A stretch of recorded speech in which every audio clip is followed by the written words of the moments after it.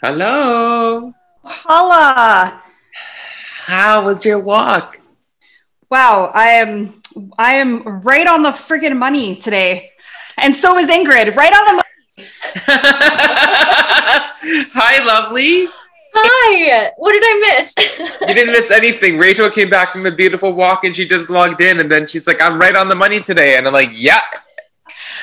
Right? Exactly. I was like, I'm right on the money today. It was one of those days that I've been trying to cram in too many, too many, I'll just I'll use the word juicy, too many juicy things. Oh, juicy. Tell me more. I know I've got my, my little like emergency just because I, I just love the taste of it sometimes too. Anyway, it- I feel you. Oh my goodness. I have had a similar experience today of just like, I feel like that's perpetually not my problem, but like my inclination is to try to cram a lot of things in two days. right?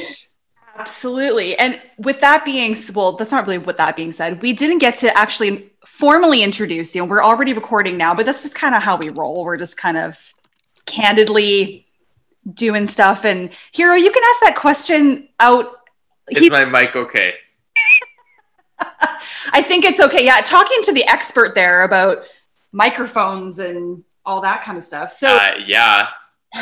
without further ado, Hiiro, would you like to introduce our guest? Why are we both wearing gray? This is I don't I don't know. that I just this is what I slept in. So I've got I've got my gray sweater here too. I'm actually if I get cold, I'm gonna throw it on. So Absolutely. we got the memo. Amazing. Okay, well, first of all, hi Ingy. Uh, this is the lovely Ingrid Nilson, who I have known since the beginning of my journey to adulthood, who was one of the few yoga teachers that really stood out to me. And we are not going to talk about yoga fully in this conversation, but that is how we met.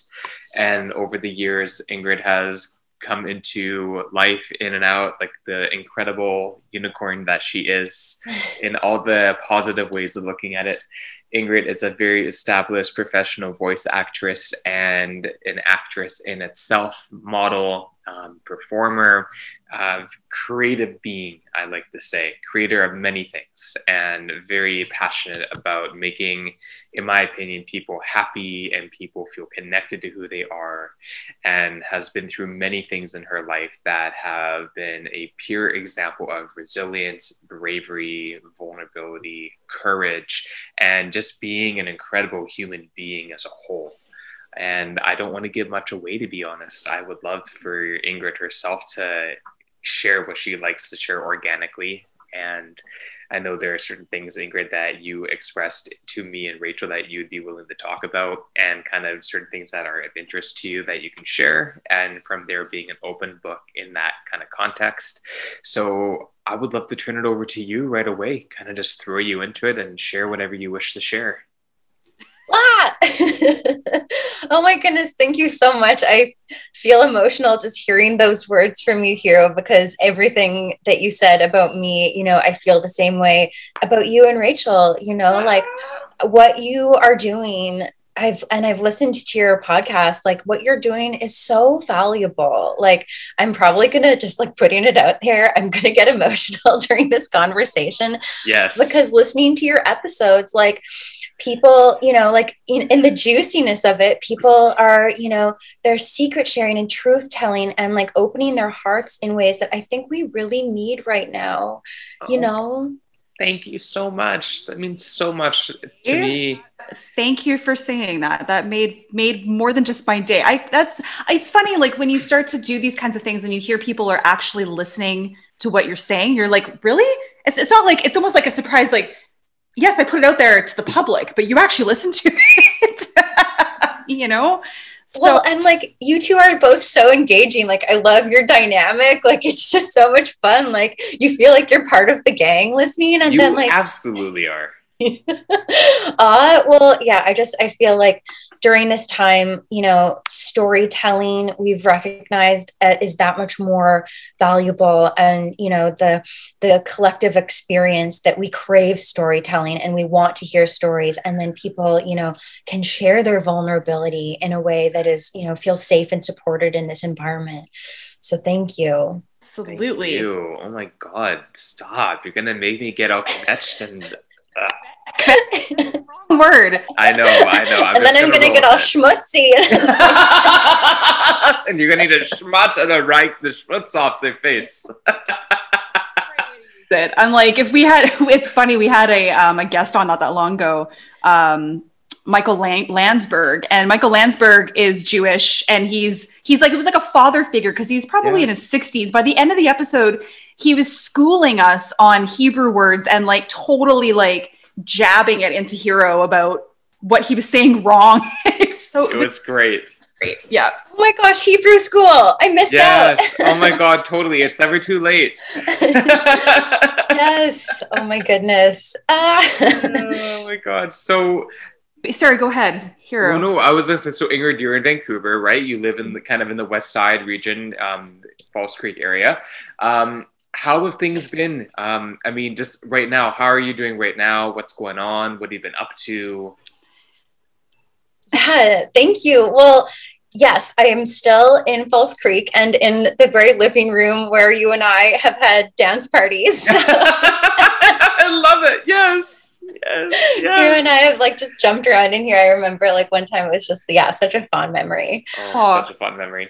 Yeah. Um, and yeah, uh, so where I'm at, also in this living room, I have um, been teaching from home a lot. So Hmm. um, I teach for a voiceover school in Vancouver called On the Mic Training. Um, they have a post post secondary accredited full time program. So yeah, they have like a voiceover like it's not a university, but it's like a you know post secondary um, full time program. So uh, I'm one of the instructors for the animation modules uh, for that. Um, and tell us and tell us why i mean people that don't know you tell us why probably you were asked to do something like that Right. Yes. So uh, I've been teaching for a number of years now, and I've been a professional in the world of voiceover for about 13 years now. Mhm.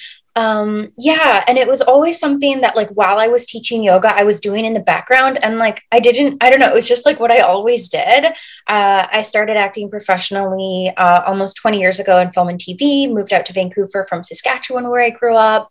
And, uh, found voiceover and um, became really intrigued in it that it was less about like appearances and hair and makeup and like you know all that film can potentially um, want to put you in a box about um, right yeah and so voiceover appealed to me um, i went to the agent for voiceover at my agency she sent me for training i went for training and then um, more training uh, and as luck would have it for my first audition that she sent me on, uh, I booked the role. And it was a series that ended up running for a long time Strawberry Shortcake. Um, oh okay. yes yeah yeah. And, and that just kind of like started the ball rolling. And from there, I've done um, many shows over the decade plus that I've been doing this. And um, I've just been so fortunate to, you know, make a career of it. Um, and then to be asked to serve as a teacher and uh, and i'm so passionate about this work and i love that you know in my career as a voiceover artist i can be anything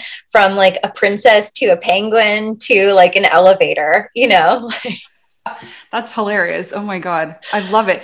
I feel like probably with the with your scope of work that covid maybe didn't have much of a damper on it just because maybe i'm wrong but because you know you're typically you're in a studio you're you're already kind of separated from somebody. It's not like you're having to work up close like you would if you were acting on a set which i know you know they kind of figured that out fairly quickly actually to be honest in the beginning of covid. But how has that kind of changed um, your work yeah you know it's been interesting because um at first i think everyone kind of shut down and was like what the heck is going on? And then yeah production did figure out pretty quickly how to continue to run sessions. Um so yeah auditions that had been somewhat in person and you submit an mp3 like it had kind of been like sort of half and half are now entirely mp3 submission. So right I have an MP3 audition to submit for a new show tomorrow. It's top secret, so I can't say uh, what it's for. But um, but yeah, it's entirely like recorded on your own at this point in time. and then for sessions, some of them um, you'll record from home, but that's only if you have like a completely professional sound booth and like Source Connect. So most of the time, you'll go in one actor at a time uh, for a session into a studio. And so, yeah, it's it works. The downside is that you don't have another actor to play off of, right? Right. And so, like, as actors, we're also reactors and, like, you know, we're interacting. Um, yeah, so it definitely has its, you know, downsides being one actor at a time in the studio at the moment. But um, there is like an engineer in the next room. So you never like really come into contact with anyone, but like they're there. And then the production is there, like either on Skype or like somehow like, you know, video calling in so that they can see you and give direction. And yeah, so. Wow. That's that is unbelievable. Amazing. So, what I was wondering about is that with all the projects you've been working on and the adaptation with the pandemic and everything that's been going through, um, what are some of the ways that you've managed to take care of yourself through the process? Whether if it's offline, if it's online, um, and also I know you have your incredible furry friend Salsa still with you, who I remember when you first got Salsa. Most adorable puppy. She's actually sleeping right behind me. So yeah. So speaking of like cramming many things into a day, we were at the vet right before this, and uh, so she's all sleepy now. She just got some shots, so she's yeah, she's good to go. Um, yeah. she's seven years old now. yeah. Yeah, yeah. Yeah, so she uh, is a rescue from Mexico, and it was actually while I was teaching, co-teaching a yoga retreat in Puerto Vallarta that we volunteered at the SPCA there for a day, and I ended up leaving with salsa. So I remember um, that. wasn't planning to get a dog, and now here I am. So. Amazing, amazing. And so again, like animal therapy, especially during COVID, especially all the people that have been getting COVID puppies or making COVID babies, I like to joke about. But in terms of your self care and things that really inspire you outside of your work as an actress, as a voice actress, as a creative, I don't know if you're teaching um, yoga even privately or in your own space anymore. But what are some of the things that you find has been really helpful for your self care within a field that can be quite demanding and potentially quite draining, you know? Yeah, for sure. I mean, like, and the reality of teaching, you know, I just came off of teaching like three classes at a time, and they're like three, four hour long classes. Um, and so I was doing that for like an extended length of time. And so, yeah, like taking care of myself, it has to be my priority. And, yeah. you know, the, and the last few years and, and this past year in particular has really highlighted that. And so, um, my taking care of myself comes first and there's lots of ways that i can do that. And um and and yeah i mean salsa is is a big part of that for sure. Uh, animal therapy and you know just having her there. She is, she is like a you know she's like a family member. She's she's like an emotional support animal to me. Mm-hmm. um and then yeah i i mean in terms of yoga so I integrate like yoga and meditational principles into my voice classes. Um, yeah, I'm not actively teaching yoga at the moment, but I do meditate every day. And that I can like credit to um, really uh, providing a foundation for wellness and like on every level like mental physical spiritual you know just wellness. It's what i do when i get out of bed first thing in the morning. And you know it it hasn't taken over for my sadhana like my you know physical asana practice but um it is like my my daily routine that is like a non-negotiable you know? Mm-hmm. of course do you because I know you've got Tempest Jade as well, correct? And so is that must be is that something else that's just a really like it, it just it sounds it seems like an amazing outlet for you to just you know not just it's just so cliche to say be you but you know but to but to be you and to express yourself because you're doing all this expression which is just right now predominantly voice not so much everything else but i feel like with maybe explain more about that because how did you get into pole and I mean, it's I it's just gorgeous to watch. So, well, thank you so much. Yeah. So, Um, well, this is like a whole backtrack um, moment, but uh, so I am adopted, and uh, my name at birth was is Tempest Jade. What? I know. I didn't know that. Yeah, so that's like the origin story of it, and I actually don't know the origins of that story uh, per se because um, I have yet to reunite with uh, with my birth family. It's certainly something that I'm interested in and have pursued. Um, and so, yeah, maybe one day I'll be able to uh, provide more information on that. So, Hmm. um, so yeah, uh, Tempest Jade is kind of an alias uh, under which I make music. So uh, I released an EP uh, a couple years ago in 2019.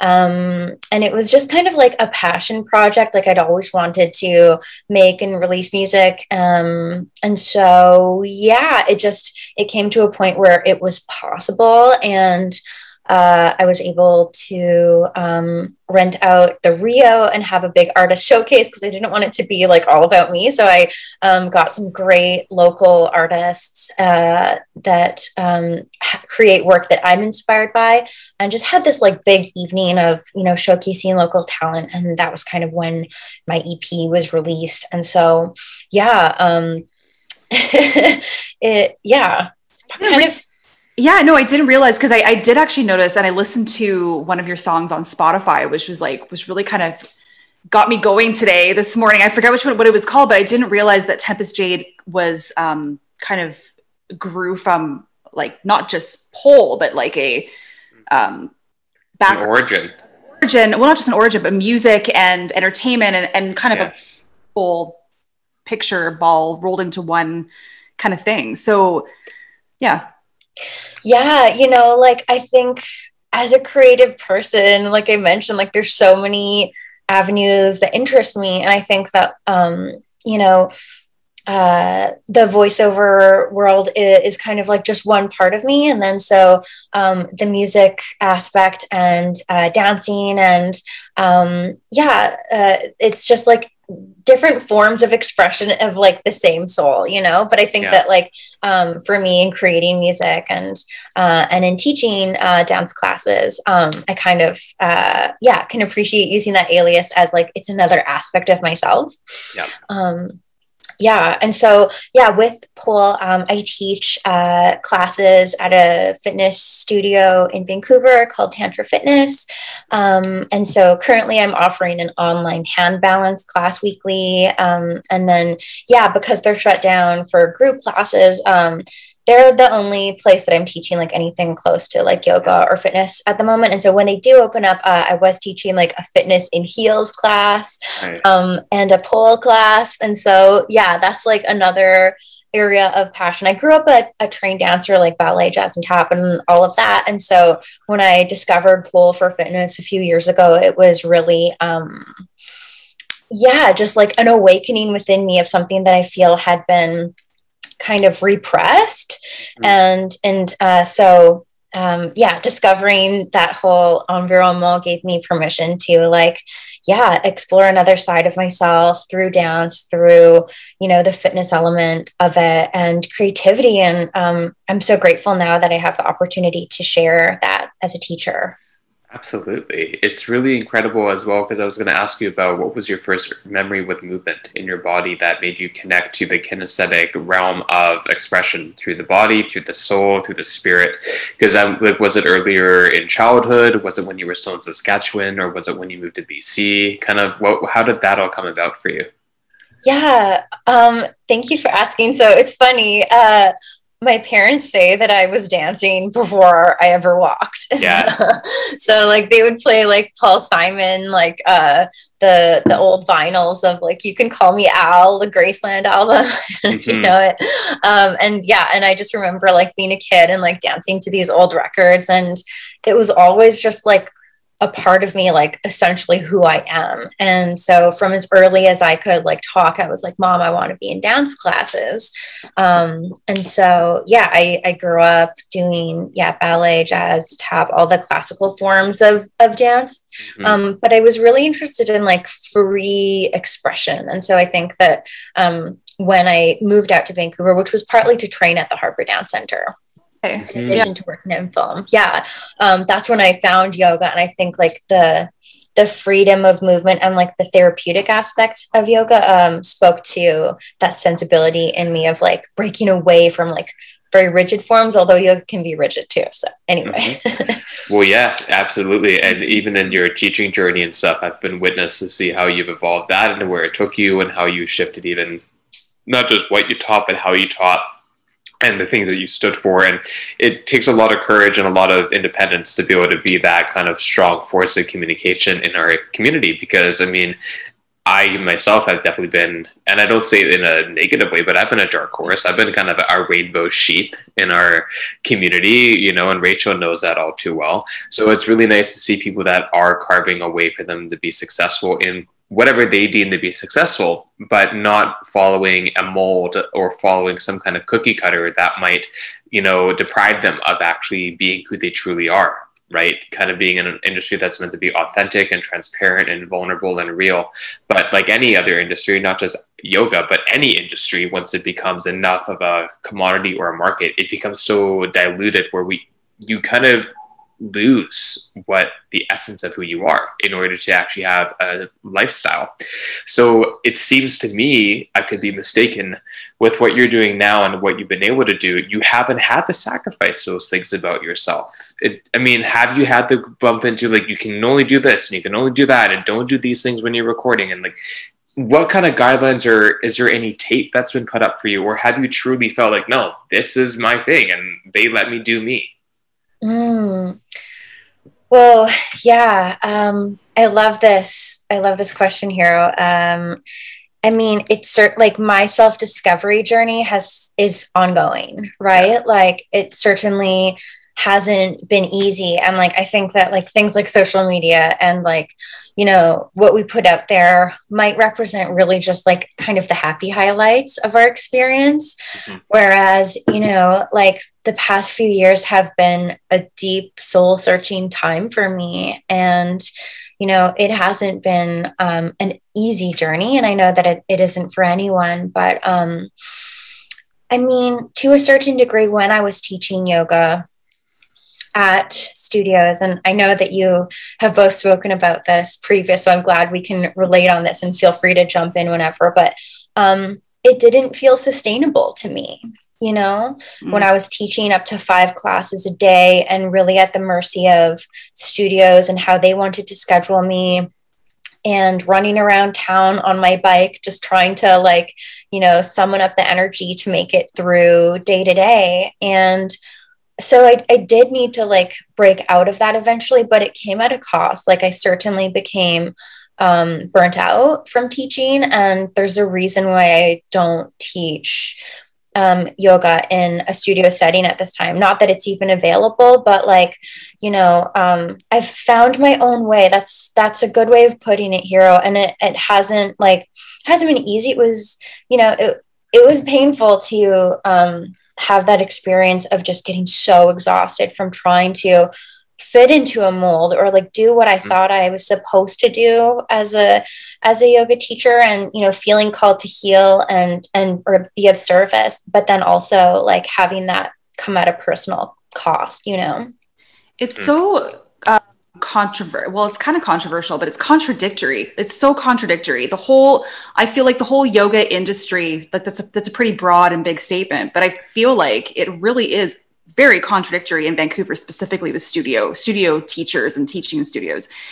Because exactly what you said, I mean, it's like you feel one way and you're told through all your lessons and all your learnings through yoga to live authentically, da, da, da, da, da, like to, you know, teach from the heart, from the soul, find your teaching voice, your own, whatever it is. But then, then you're, contradictory it's the you're told the opposite so i mean it's just like not only is it exhausting to have to survive monetarily but it's exhausting in the in the freaking mind like it's mm. just it's polar opposites i don't even mm-hmm. know what the solution is to be honest but I, i'm totally with you because that's pretty much why i don't really teach anymore either very often and and, and piggy piggybacking on that i mean there's a couple things to unpack there is that because again you're talking about being a voice actress being a, a voice of different things that are who you are but through a, a, lens or a muse i like to say. And when you're a teacher and you're saying find your teaching voice that alone is already toxic language. You don't have a teaching voice. You have your voice and you are teaching people but you're using your voice to teach. It's not a teaching voice. So i know what you're saying and they do say that find your teaching voice. There is no such thing as a teaching voice. When the people say they sound like a yoga teacher they're just being an actress or an actor or an actee or an act X and fulfilling the role of being a yoga teacher, which is everywhere. And that's why I think it's not their fault. It's really not their fault. It's just they don't know any better. So those people kind of pollute. I don't care about saying that. They pollute these spaces and they d- dissolve and make less space for people like ourselves that maybe didn't come from a background of being looking the part or moving in the part or having the stereotype of the part and people that are real people from real life situations that didn't have any of those um, maybe capabilities prior to learning how to learn them from scratch those voices aren't being heard. And so not to get into anything else that that could be translated to but amplifying the voices of people that actually have something to share that is not always heard translates to every industry and every walk of life. And yoga teaching in or out of a studio setting, corporate, non corporate, whatever it might be, people have to take a risk and take a chance to meet their brand messaging, but also amplify authenticity within the voice of their people to also fit their culture without telling them or changing them for who they're meant to be. And that is the death of our industry that is happening. And I hate saying it because I wish to be in it full time still. And yet here I am saying the opposite that might potentially not provide me an opportunity for just being real. Oh, yeah, pretty much. Jesus. Oh, that's a big sigh for me. Um, Ingrid, I don't know if you want to chime in there. I don't even, even yeah. Yeah, you know, the truth telling side of it is um it, it's it's really so important you know? I think that we bring our our personal experiences to to who we are to who we to how we show up in the world to who we are as teachers. And you know one thing that i've recognized is that um when I step back from a situation that doesn't feel right, that feels toxic, that doesn't feel like a good fit anymore, then what I have recognized recently is that the universe will open doors for me. Right? Like it just, it always happens when I'm aligned, when I'm taking care of myself, when I'm spiritually fit, then it almost it happens automatically if I'm living in my truth that like I can take that risk to step back or to like speak my truth and remove myself from certain situations. And if I'm in right action, then the doors will open, right? Mm-hmm. It's very, very, very, very, very, very, very true. so when when did you kind of when was it that you kind of stepped back from teaching more in studios? Was it before COVID times, I guess? Mm-hmm. So yeah, here's my like truth telling moment. So this is where I really appreciated it. Was it Donovan that was on the podcast? Yeah. Yeah, such a sweetheart.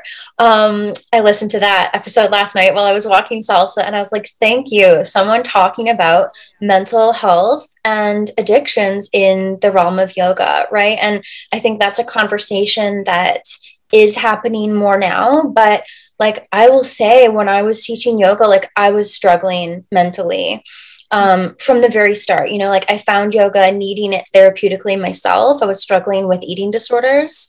Yeah. And um, I appreciated the benefit that it allotted me so much that I wanted to share that benefit. And so I went into teaching not being cured myself. You know, I was still struggling and and to a degree I felt like um there was persecution more so back then like you know 10 plus years ago when it came to eating disorders there was less understanding around it and like not a, a lot of compassion. So you know it it was something that i struggled with ongoing as i was teaching. And then so i kind of felt like i was living a double standard and that was hard for me because you know i i wasn't totally well and I was sharing a message of wellness. And I think that I was on my wellness journey, but then at a certain point, like, um, it came to um, it came to a head and something something needed to change. And so yeah i mean um, i will credit yoga and and um, and movement and meditation as as being helpful in my recovery. And then also it was kind of like whack-a-mole. So when my eating disorder symptoms improved um, i found that uh, my drinking really um, was exacerbated or you know like i hmm. started to to drink more and more and uh and it became out of control for me you know like i became a daily drinker and then i really felt like i was living a double standard and i was experiencing like health consequences because of my drinking and i i had to remove myself completely and um it was a really uh, it was in 2016 it was a really dark time for me um, and then in 2017 things kind of came to a head and uh, and i got help and so, um, yeah, so I am so grateful to be here today and be almost four years clean and sober next month in June. Wow. Congratulations, Ingrid. That's, that's huge. You bring up such key points, I think, that, you know, being in the wellness industry, there's such a fine line between thinking that we, I don't know if Hiiro's like, he's like, I know what you're going to say. Do you know me that well? no. um, uh, that there's such a fine line of like um, being your optimal opt- optimal self in order to teach because you're teaching wellness, but also needing it yourself and then where is that like i mean because you know you always hear for example of um, therapists or psychologists i mean there's a reason why we go into these types of professions because we do need it ourselves right mm-hmm. so where is that balance because i i've sim- not i don't have the same experience as you ingrid but i i similarly felt still feel even when i'm teaching a class in a way that i'm an imposter because i still deal with sometimes debilitating health anxiety and a lot of generalized anxiety, depression, like those kinds of things that I'm still trying to figure the fuck out. So you kind of, it's, it's a very strange world to be in, you know? Um, I don't know if, if everyone will ever figure it out completely and be able to teach from such a pure, pure spot or place, but,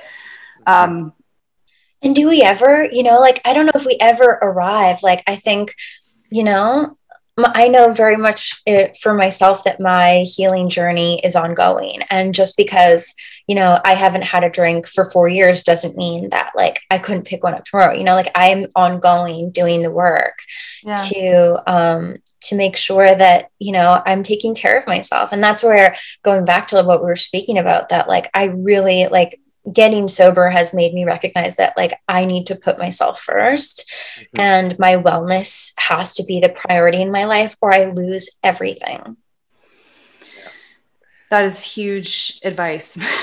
what are your and I don't know if you are um and I with COVID and stuff and it's a bit of a sticky situation, but what has it been like even if you haven't dated or pursue dating and just dating yourself versus other people, bringing other human beings into your personal life. Um, have you noticed any reflections, any takeaways? Um, any is there what's it like coming into that situation with what you're living with, what you're overcoming? What's it like dating people or talking to people that maybe are not um, from a similar background? Do you is, is that even a thing, or do you notice anything that comes up for you? Ooh. them? Ooh, let's talk about dating. I'm curious. I'm curious to hear that. To hear about that. Mm-hmm. It's you know the past four years have really been um, also like a journey in discovery in that realm as well. So um, for the first year, uh, when I was newly sober, I didn't date at all. Um, and then coming back to dating, I'm I'm figuring it out. You know, like um, I I dated people that drank casually, but then I found that like casual drinking is actually sometimes disguise a disguise for a binge drinking, right? Yeah. That like people are like, oh, I'm a casual drinker, but then they just get wasted every once in a while, and you know, um, and behave in ways that they wouldn't usually, and then like weird stuff happens. So that happened in a relationship. Um, earlier in my recovery that it didn't work out. And then so more recently, I dated someone who was in recovery uh, or who was sober. And um, I thought that was the answer, you know, and that like dating another sober person was going to, you know, be be the be the problem solver there. And then what I've recognized too is that like not everyone who is sober is necessarily well either. Mm. Yes.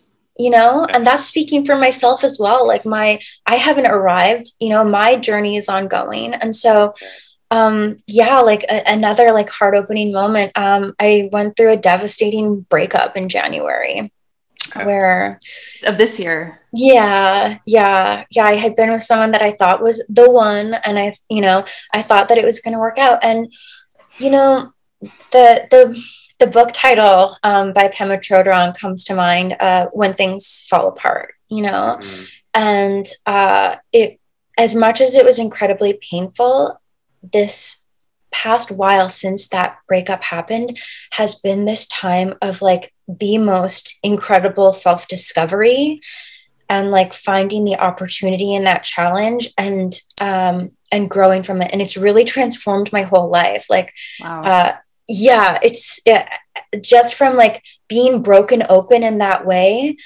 mm-hmm. it made it forced me to look at okay who am i what do i value what do i want and what am I actually doing in the world? You know? Yeah.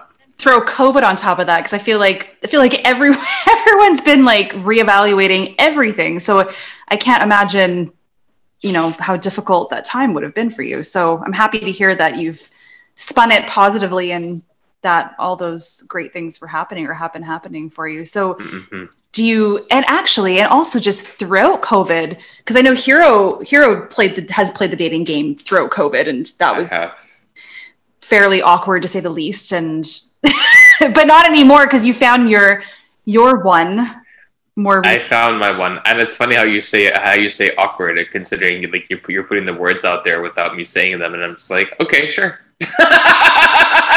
that's a read but not intentionally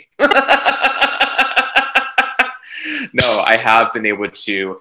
I kind of said to myself really early last March, um, and you know, like honestly, I don't in a in a non-defensive, egoistic way. I don't care what people think about me.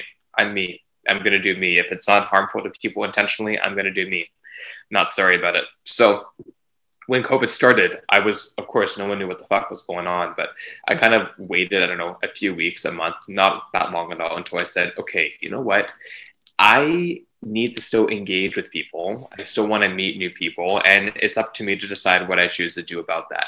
You know, and again, so I finally went on a date with an individual, and it seemed right, and then realized that they were quite um, possessive. Um, so I shot that in the bud, and then I experimented. Then I met someone, dated them for maybe six weeks, and then it was a positive experience, but also quite debilitating. So that ended.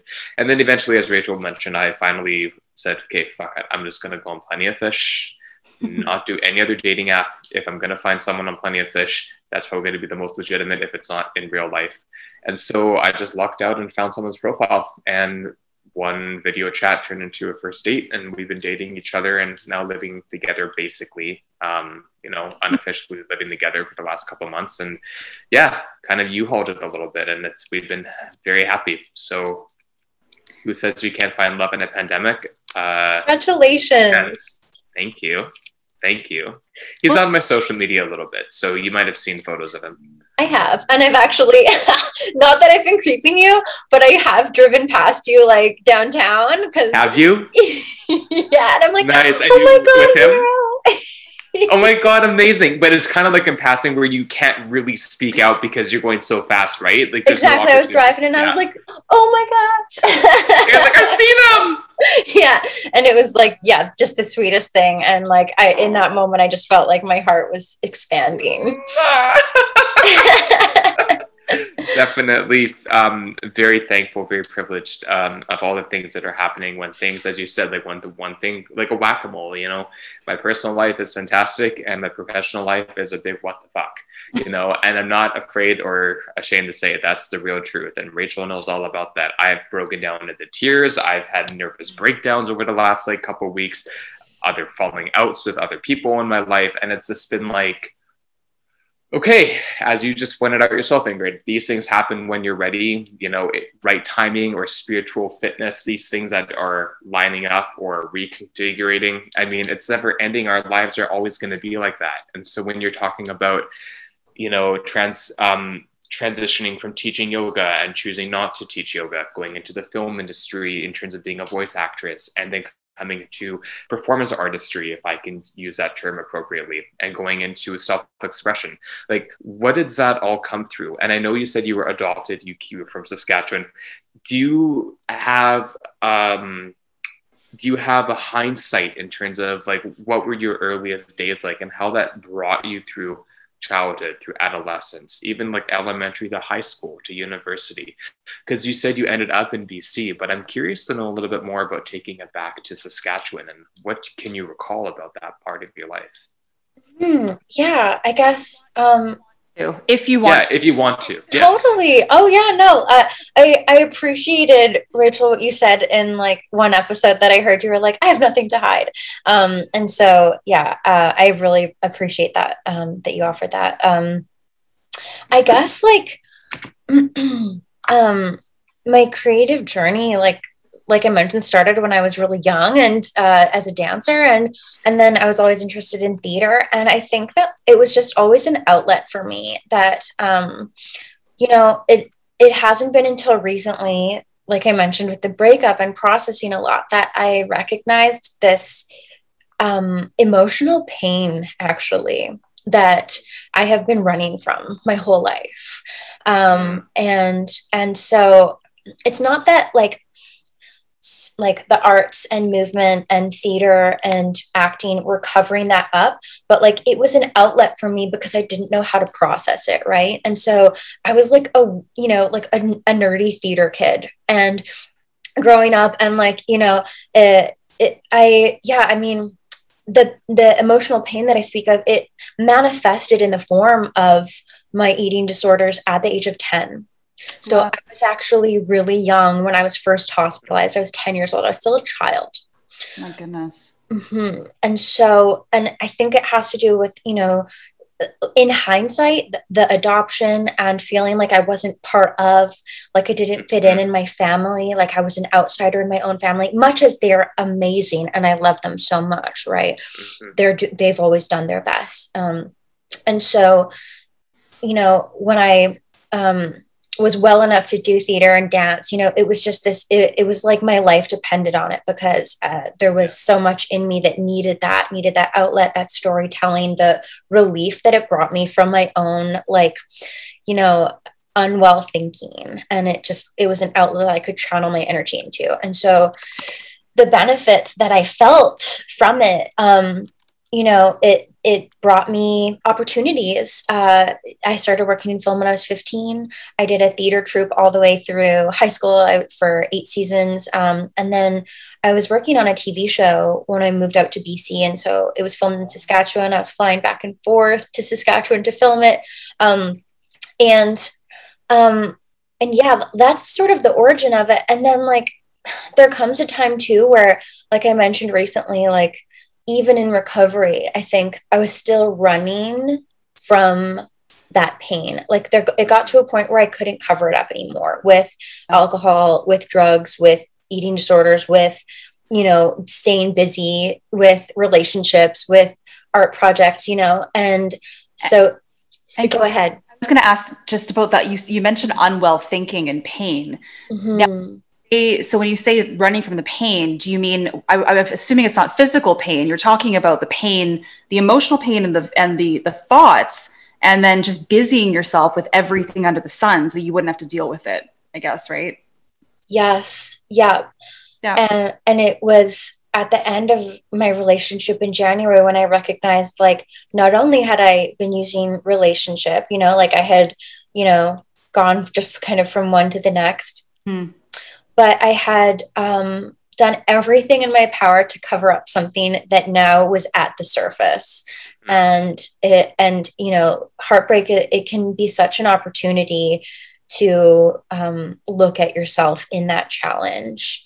And there was just a moment when I sat with myself and uh, it makes me emotional even just just thinking of it where once i finally sat and was still and i stopped running the pain was transformed wow Wow. you know yeah Yeah. Yeah. into understanding like Yeah. into an understanding that i don't need to run anymore Yeah. Oh, you you have hit a, a bit of a nerve in me, I think, and hopefully for other people that are listening, because even you know what I was mentioning before about health anxiety and always, I, I feel like I feel like most of us like that's incredibly brave and poignant, because I I would s- wager to guess or say that most people are running from something, and it it's the hardest thing in the entire world to sit with you. Like that is not only hard but brave and challenging and and brave i'm just gonna say brave again because it, Yeah. it is Yeah. Yeah. Thank you. And like what I'll say is that um it has clarified. It has been like that challenge and that pressure and sitting with it has like pressurized to create like you know diamond clarity in me and it's given me like wow. um a kind of vision for myself that I it's just clarified my vision. Yeah. And so like I've recognized in my cover in my recovery that I want I've always wanted to be of service to others. Like I think it's just been covered up by so much and obscured and confused in these various situations, right? Um, Yeah. as it can be. And so what happened uh, in that moment when I realized that I didn't need to run anymore is that like how can I be of service to the greatest degree? Mhm. and and how can i live on purpose? And maybe it doesn't look like how i'm living right now. Um so what needs to adjust in order for that to happen? Yes. Mhm. and so then and so what did you do? Right? So excited for you. Yeah i mean i think like there's already ways that i was of service. So even just this morning i volunteer every week on a crisis line um wow. yeah yeah and i'm so i'm able to work remotely currently. I'm able to answer phones for this crisis line um, from home. And Yes. yeah um, and it was when i was actually a speaker at a women's recovery house a women's drug and alcohol uh, addictions recovery house that this woman um, spoke to me and she asked like she had relapsed many times and she asked you know i'm having trouble recognizing um, you know my higher power and if recovery is even possible for me. And here i'm going to get emotional again because i do every time i tell this story i've given the disclaimer. But the this woman was so bright. She was so bright and shiny and beautiful. And i i said to her in, in the moment i was like you know that like the universe is working through you right? Like you're so bright right? Like you have it in you already even if you can't see it. And it was that moment that actually made me recognize that like i have a potential in me to be of service to a greater greater degree than or in a different capacity than i currently am. Yeah. And so like as much as i love voice acting i love teaching voiceover uh, it's such a rewarding experience i'm also um, on a path to pursue and here's where i'm like i don't want to speak too soon because it's still very much in process um, but i'm currently taking courses towards a master's in counseling psychology. Awesome. Good for you. Yeah and as i speak that like it just feels so right. Yeah. That's amazing. Do you feel like you that there was I shouldn't say there was no way, but maybe I'll just say this. Do you feel like there was no way that you could get to where you are and have this clarity without figuring your own shit out first? I feel like that's probably the, the answer is yes, I'm assuming, but you know, it's just again, like for example, like I struggle with the fact that I feel like I'll never really get my shit together to the to the to the extent where I can be 100% in service or for people. Like I don't know, it just sounds sounds so like I'm just shitting on myself right now. but you're inspiring. You're inspiring me. So I guess I'm just asking for some more advice, really. well, girl, like when it comes to what you're talking about, like I still have all of those stories, right? Like, and here you mentioned breakdowns. Like, yes, like my courses are entirely online. And oh, you should have seen me yesterday. It was like breakdown after breakdown as I tried to figure out learning in these online spaces and the various platforms yeah. that post secondary learning is happening within right now. Like, oh my gosh like yeah. um, i needed to like download this app to record a video message it seems straightforward but it couldn't be downloaded on my safari browser and so i had to do like it consulting and start a like help thread in the class discussion like it i don't know like i think that like this this time frame of kind of living online it certainly can make us vulnerable to feeling i feel stress in a different way you know like it's like it's this pressure in a different way. And like all of those stories still exist in me of like i'm not doing i'm you know i'm not fit enough or like you know whatever whatever stories uh have existed they still do. And it's like i just turn the volume down on them. Hmm. or i have all these tools right to like take a break go for a walk, you know, with my dog or like meditate, you know, like right before this conversation, I did a little meditation. It doesn't need to be big things, but like I just, um, I have that voice too, and I have to recognize it and call it out for what it is. And like, yeah, I mean, in terms of going through my shit, like, mm. you know, my darkest hour in in struggling with with problematic drinking and substance use is now like the key that unlocks my universe right? Right. Yeah.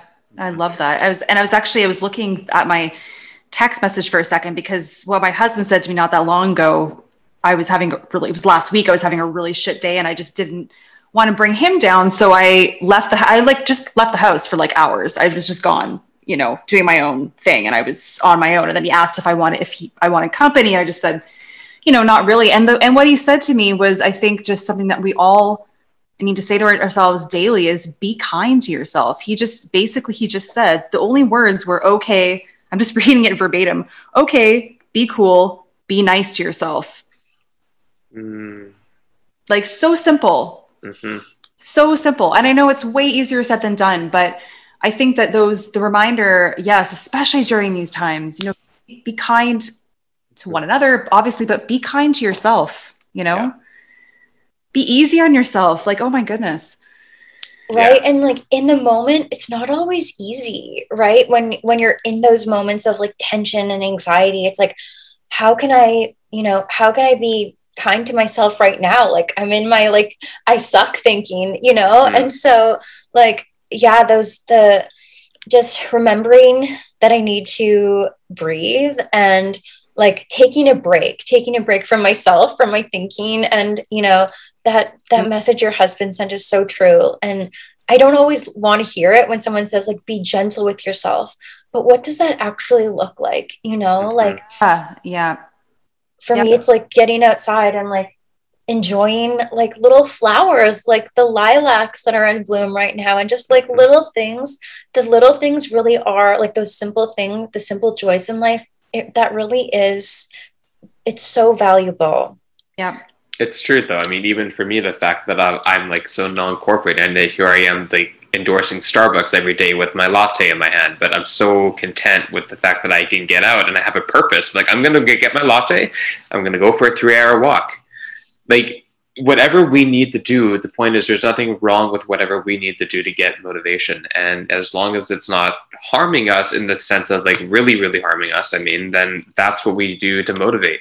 See a friend at a distance or in person to go see a family member if it's safe to do so at a time like right now go watch a movie from home or take your um, device with you and take it into nature and then watch something in nature. Like whatever you need to do you need to do. Like for me this has been a lifesaver for me. I haven't gamed since i was like a teenager. You know how many hours i spend on this? When i don't have to be responsible? A lot. Whatever you need to do to be happy just fucking do it because who's stopping you other than yourself? No, and I, I also think we're living in a time right now that because we're being because of the pandemic, we're pretty much being forced to spend even that much more time with ourselves. Like the amount of people that I've talked to that have just been like, I'm I've said about themselves and myself included, like I'm just fucking bored of myself. I'm sick of of just being with me or just with that one other person, whatever it might be. So yes, like, you know, getting out of our own way, being kind to ourselves, getting outside, doing those things. It's it's and also just recognizing it's going to be more challenging now. Yeah. It is it is. And, you know, Ingrid, you're talking about do things that are self caring or like we heal or we care from the things that we do at the same time. And, you know, the podcast, you know, for me and Rachel has been a place of, yes, there is work that is involved with it. And sure, Rachel does do a lot of work on the post production side, which is fantastic thing. No, because it's the truth. We keep it real.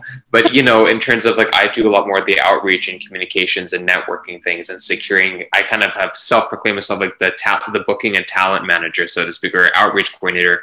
Rachel is the operations manager. Like that, that is exactly what she does. And it's a healing for me, at least, to know that at least every week, I know I'm going to be able to talk to my best friend, if not every day. And I'm going to be able to talk to other really good friends of mine or people that I would like to be friends with that have something to share. And it gives you that purpose and structure. So if it means you're going to go to counseling and go into doing classes to be eligible to do those things, if it means Rachel's going to go out on a walk and say, be nice to yourself from her husband giving her that reminder, who cares what the fuck it is? Just have an outlet, whatever that outlet might be, and it can change whenever you want it to change. Totally. And I think that like, you know, just the the way that you are both facilitating that through this and through like the sharing of stories, you know, like I was listening to is it Ash Dr. Ashley McInnes? Yeah, last night and like just awesome. Sorry. what she had to say like also was choking me up because i was like thank you you know like i think when one person can be themselves and share their story it gives us all permission right yeah. to to be authentic in whatever way you know mm-hmm. that that is true for us and it it might not look what other like what other people want us to do or what they expect and like no. it really has to be authentic for you and especially in this time like I just know that like I you know from based on what I've shared I can't I can't fake it with myself you know? Like I can't run from myself. Wherever I go there I am. Mm-hmm. yes absolutely. Mm-hmm. so if, and with your so okay so I just I always just look at the time and I can't believe we could talk for hours and hours on what time it already is. So currently you said you are um, you're helping actually i want to talk to you about the the helpline that you're volunteering for because that's something that I was actually thinking about as well. Um, so you're doing that. You've got your classes that you're currently teaching, and are you still doing some talks um, in recovery centers, or was that just one that you did recently? Right. So um, I do periodically um, get asked to speak in these settings. It's not like on a consistent basis, but um, I mean, because you know I'm part of a fellowship uh, in recovery that has offered me so much. It's really the least that I can do to give back when I'm asked. So yeah, the the crisis line that I work on um, is is part of that fellowship. Although there are many, and Rachel, I feel like you'd be such a good candidate. So I've actually looked into BC's um, helplines, and there are several. Um, so there's one for youth and one for for the elderly, and then there's one that's like a 24 hour line. And so there's they're they're based in BC, and um, for volunteers like myself um, in these sort of crisis line uh, answer answering the phone positions. Um, it's usually a, a, weekend or a few weekends training that happens. And then um, usually they'll set you up uh, during this time remotely to be answering these calls. And then based on each individual call it's you know taking it from there. And it really gives me so much you know like it, it sounds selfish and um in a way but like when i'm able to be be of service it is deeply fulfilling. Mm-hmm. well and i think i think that more than ever i feel like maybe they they need more volunteers than they ever have before. Maybe i'm wrong but just with with the scope of what's happening with the pandemic and people, a lot more people maybe being in crisis. So, with that being said, is there, you know, advice or first steps you can tell people that are, you know, going through maybe addictions currently? Maybe it's gotten worse for them because of the pandemic. Is there any kind of anything, not even just advice, but I don't know. I don't I don't know how to put that. Advice advice just sounds I don't know. I don't I don't like that word. maybe maybe any considerations. Yeah, like anything they might do to help themselves. Yeah, I mean, like what I can speak to from my own experience is that if you're struggling with problematic substance use, you know, you're not alone. Mm-hmm. And that was the biggest, that was the feeling that I had the most when I was in my deepest realm of struggle is that I felt that no one felt as lonely as I did. No one understood. No one had done the things I had done. No one lived in that like dark place that I was of just like, just, yeah, just loneliness, anxiety, depression, um, confusion, because like I didn't even really know how to label it. Right. And so um, it wasn't until I had um, a sober person that manifested in my life um, that talked about being sober and how it was such a great life. And like at the time, I didn't even understand how that was possible. I was like, wait, what? You live without alcohol and drugs? Like I didn't, I actually didn't understand how that was possible. And so um, they kind of planted it in my ear that it was possible. And so um, when I hit my bottom, I was able to recognize that actually help and resources are out there and I was able to access them. And so there are many, there are many resources and you don't have to be alone in struggle when it comes to when it comes to addictions. And so I mean, the fellowship that I'm a part of is an anonymous one and that like kind of almost uh, gives it away in and of itself. But just to put it out there, it's, you know, I had this idea about these fellowships, these 12 step fellowships, how they're portrayed in the media, that it was, you know, maybe a bunch of people that are just that I wouldn't be able to relate with that were like deeply troubled. And I didn't think that I was that troubled, although I was that troubled.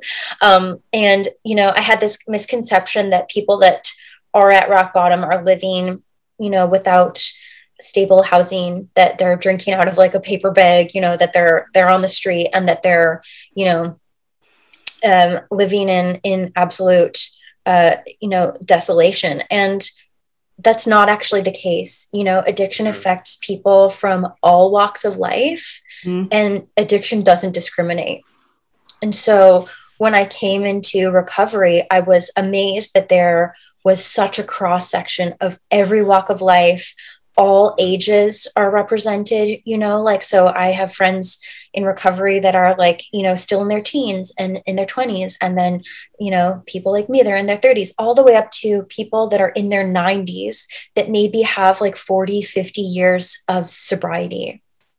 Wow. And it's possible. Yes. I love that. Well, and we'll make sure to put some um, some outreach or out outlets in the show notes so that people can access those for sure. Mm-hmm. Yeah. Yeah. The biggest thing that I would say is that, like, you don't have to be alone. Recovery is possible. Like, if myself, as someone who was previously a daily drinker, like, if I'm able to do it, you know literally anyone can do it. And i've seen people also those people that that once lived without stable housing people that have lived on the street i have also seen them go through recovery. Or i've seen you know the lawyer or the real estate agent that was living the lavish life but also you know completely out of control. I've seen just all walks mm. of life go through recovery and i know that it's possible and there's no right way of doing it. So like i didn't go to a treatment center um, but that is one option right? So there's many avenues like there's not a right way but ultimately it boils down to like do you want it? Do you want um are you will are you willing? You know like it it doesn't have to be do you want to be sober forever? Because i only ever stay sober one day at a time. Yes. Mm. yeah. You know like i'm only as ever as sober as when I wake up in the morning and go to bed at night sober, right? Like, and then uh, I get a few days back to back. Right. That's very helpful, though, right? It keeps you measurable and keeps you accountable because you're focusing on what you have control over, which is right now. Right? Like, can I stay sober in this hour? Can I stay sober until I go to bed at night? You know, and over time, it's become less of a struggle and like the obsession and desire to drink and use has been completely lifted and you know that's by the grace of God or a higher power or the universe, right? And so, you know, all that's all that is required from someone who's struggling is a little bit of willingness, like a seed of willingness. Mm-hmm. Very well said. Um, is there, I mean, again, taking it from this kind of tone and taking from this, I just want to commend you for your bravery, your courage, your um, your comfort in sharing and being so raw with me and with Rachel, um, and that we can facilitate that because regardless if a guest knows us from before or not, they could be a stranger, they could be existing. That doesn't equal what might come out on a discussion that is shared in such an intimate manner. So thank you for that. I want to really commend you for that because that's such a powerful tool that people can tune into and utilize your experience and resources for in the time to come. Um, as our platform reaches more people over time. So I want to acknowledge that. Um, so thank you for that. Secondly, um, one of the fun things we like to ask, which you might know because you've listened to our podcast, is if you were a kind of juice, what kind of juice would you be and why? I love this so much. I mean, oh. so I think that I would be like, you know, they say they are, you are what you eat. So yes. Uh, I'm obsessed with these health shots uh, for my voice. When my voice is raw, I drink these um it's like a ginger turmeric grapefruit orange black pepper cayenne pepper tonic and it yes. burns on the way down but you can feel it like yes. You love those but i've never heard it with the grapefruit. I've had it with like all the other ingredients but the grapefruit and orange juice. No maybe orange juice but anyway. Oh my god so good amazing it and packs a powerful punch do you make these yourself or do you get them from somewhere I have made them myself, but working with turmeric, I find just like it gets everywhere. Yeah. And I love like obviously the you know superfood benefit that yes. comes from turmeric and I and I do work with it, but I also get um, these health shots from Glory Juice. So and I'm nice. obsessed. Like I I get them all the time. And so I feel like Amazing. I would be that spicy juice if I if I was to choose. Love it. I love it. Juice. Glory Juice is my fave because I lived like in the lower Lonsdale area. I don't think it's even in lower Lonsdale anymore. They might have. It is, unless they closed it, but I think it might still be there. Anyway, but that was like, oh my God, but that was my go to. And their, um, oh, it's like an almond milk, magic, not magic milk. It's like a golden turmeric thing that's like a, but it's like with a nut milk. And oh my God, so good. So good. I miss those. So good. Delicious. Yes. Yes, because you're up by Vernon, right? I'm in Vernon. Yes. yeah. I'm not gonna lie, I love it here, and I've. It's not podcast not about me right now, but I would not move back to Vancouver. Honestly, like when I heard that you were up there, I was like, oh, you know, I hear, I I love Vancouver, and the opportunities that I'm pursuing right now are here. However, every day when I I hear the sirens in the city, I'm like, you know, uh, and I'm walking or driving and it's traffic and I get like a gust of like pollution in my face. I'm like, what would it be like, you know? To- right. Right. The opportunities, like I, I didn't have a job that I had to stay in the city. So I get it. Like if I, if I did, I, I would, I would, I would stay down there, but just like different, um, we wanted different things, you know, we wanted a house. So we bought this like over 100 year old old freaking house that needs a shit ton of work but you know we're young enough that it doesn't it doesn't bother us that much that's another story for another day um but because and I've said this on a few few podcast episodes already, but my my office is still being worked on. I don't know if my husband's there, but anyway. oh girl, we always got those home improvements. Like I've got like don't even look behind my couch right now. well, one thing I do want to leave with is that I remember, I think the very first time that I met you was when I came in, I was probably in my first couple months of taking public classes, and I came into a yin class of yours, and it took me somewhere that was so magical. And I knew that when I had saw you, you had your blonde pixie cut, and you were super fresh and bubbly and live, and I just thought, I wonder what the story is behind this individual. And I don't know when the turning point might have been when me and you begin to connect and so forth. And it might have been when I started being at the front desk, I would guess, because then you see more people and interact more frequently because there's a bit more time to connect. And then, of course, when I began to teach myself. But what I'm getting at is that whatever you must have been feeling in those earlier days when I first met you, I could only imagine the lessons that must have been taken from those experiences and how they've shown up for you now. And to see what you're doing from those experiences back then, which was 10 or 11 years ago.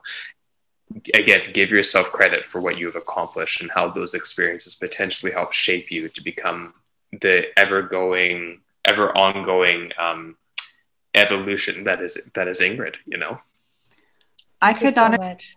I'm going to chime in there for a second because I I also think I met I don't know how long ago that was, but it was Ryan Lear's one of the uh yeah um one yoga youth. Vinyasa yoga for youth. For, yeah, and I was that a oh my god like that was a long time ago. Maybe it was seven years ago when I met you, but but but like what Hiiro said like back then you you leave such a lasting beautiful impression on, on people. Like you had so much light you were so vivacious and and bright. And and again and you were going through so much shit back then. So i can't imagine now like i can feel it just coming through the screen. Your your light is just enormous. It's just beautiful and glowing. So i'm just so happy to see that you've you know you're you're on your way kid. I just i just yeah. old am I? am I that much older than you? I don't I don't know, girl, but like I remember you from that training and thank you thank you both for your kind words. Rachel, I remember this, you know, I think this is an example of like when we're stronger than we know we are. You were brought to the front of the class and you did this handstand. I have, you know what? We could talk about. I don't know if I can, you you continue because my version of the story is probably going to be different than yours. you know, it felt I, and here's where I don't know what your perspective is. And it felt like it was a little bit the hand the teacher was a bit disciplinary with you. Yeah. And it, yeah, and it felt like a bit too much. And at the same time, I saw you in that moment rise to the challenge. Yes. That's that's a good take on that.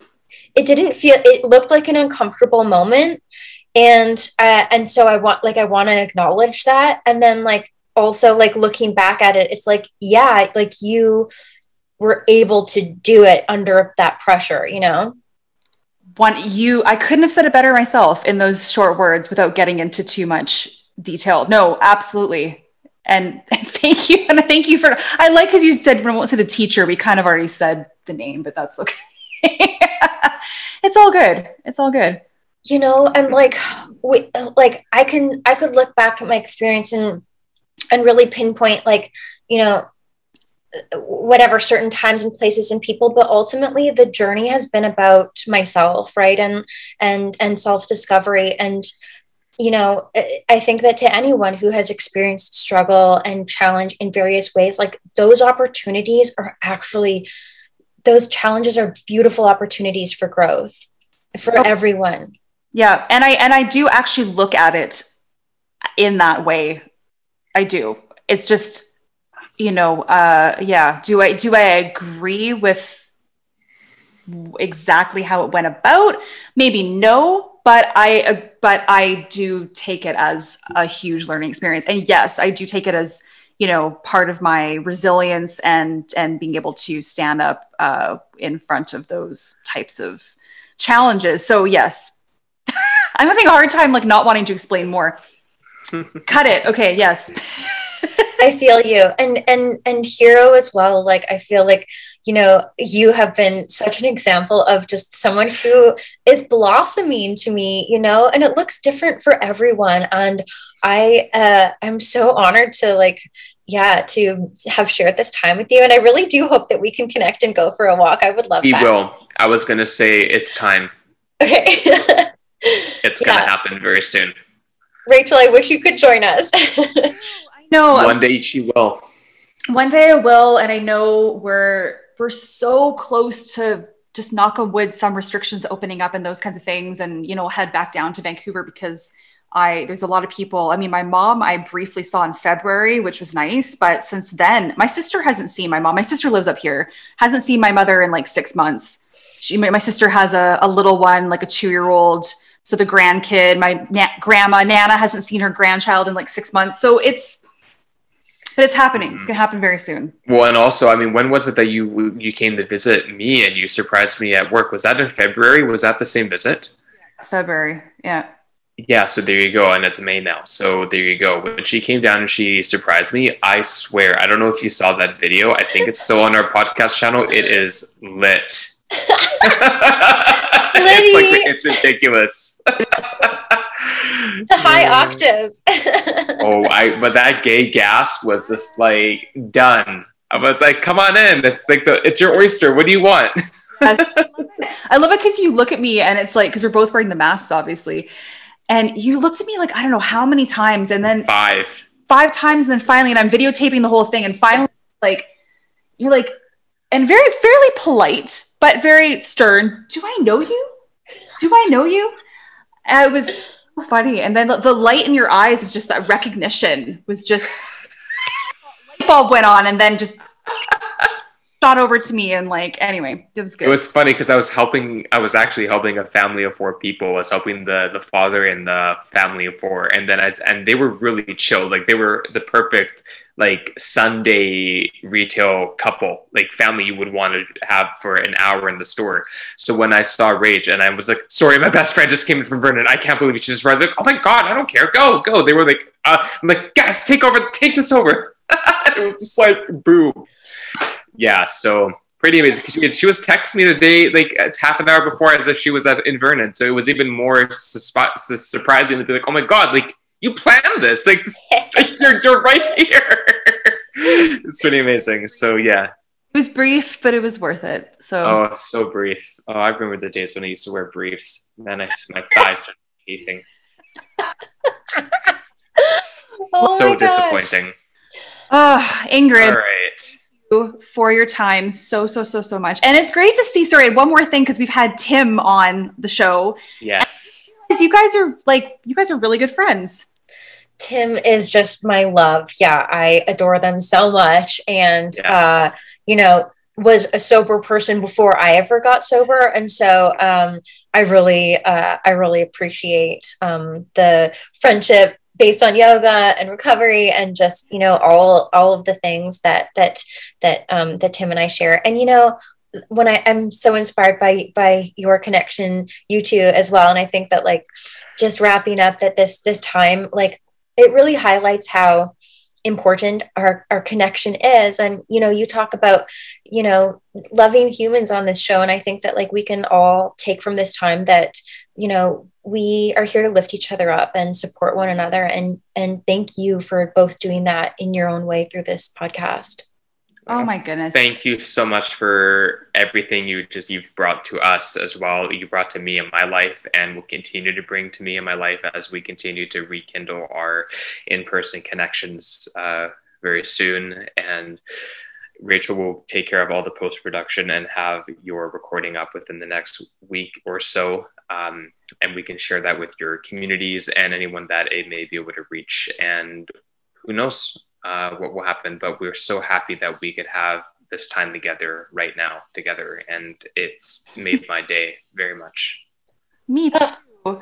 I cool, and I can't wait to see you in person one day. We will. So keep in touch and all the best to you Thank you. Thank you. Thank you so much.